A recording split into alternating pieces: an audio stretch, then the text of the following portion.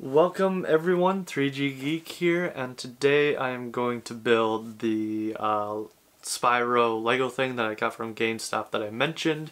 Um, and so yeah, we're just gonna start building it. Um, I actually have to apologize in advance. Um, I did switch locations. The first location was bad in terms of filming, but I switched and now we're all good. So uh, sit back, relax, and enjoy.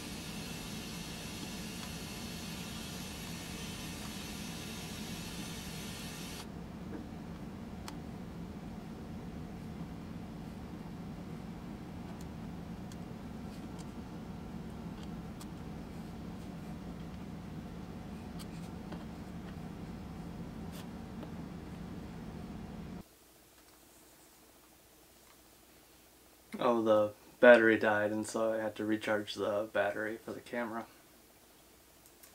You're probably wondering how I'm filming right now.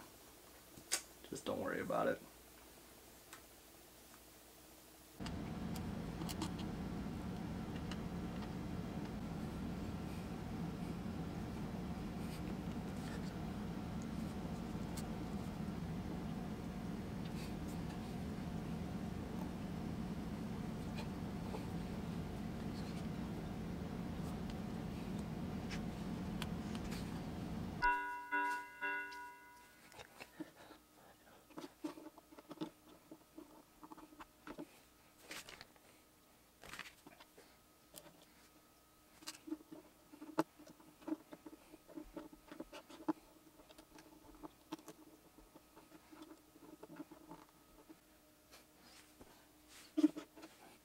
Like I.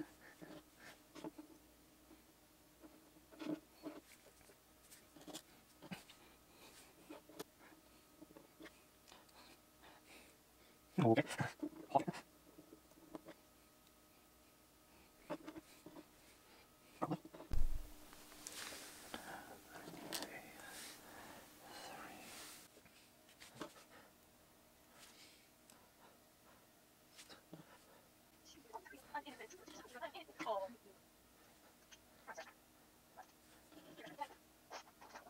Yeah.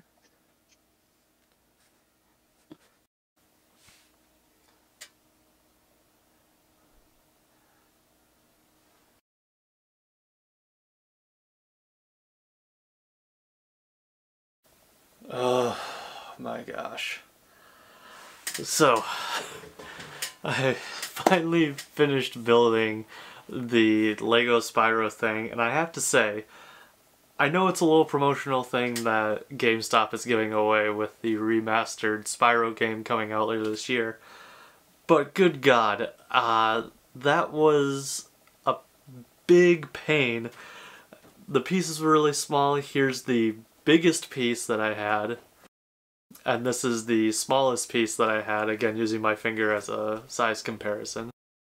And since it wasn't made very well, none of the pieces really fit together, the directions were super confusing. It was really hard to follow them at some points. I got confused and had to backtrack a couple of times. But either way, I think it was actually worth it. The little Spyro dude is actually pretty cute and I kind of love him. The only thing is, since nothing fit together perfectly, he is very fragile, but uh, I don't really think he's going anywhere. I think he's just going to be chilling in my room. But either way, thanks for watching. If you enjoyed this, uh, hit that like button, and if you want to see uh, more of my future videos, please subscribe. And this is 3G Geek, signing off.